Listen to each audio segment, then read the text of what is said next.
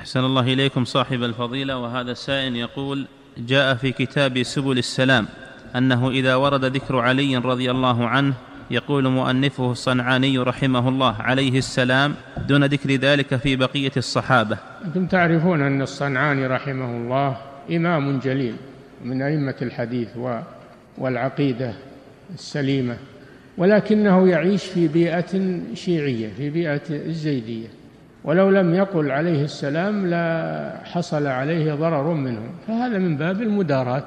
ويجوز أن تقول فلان عليه السلام يجوز. إلا أن يكون هذا شعار فلا يجوز إلا عند الضرورة. نعم. إعداد مشروع كبار العلماء بالكويت أعزها الله بالتوحيد والسنة.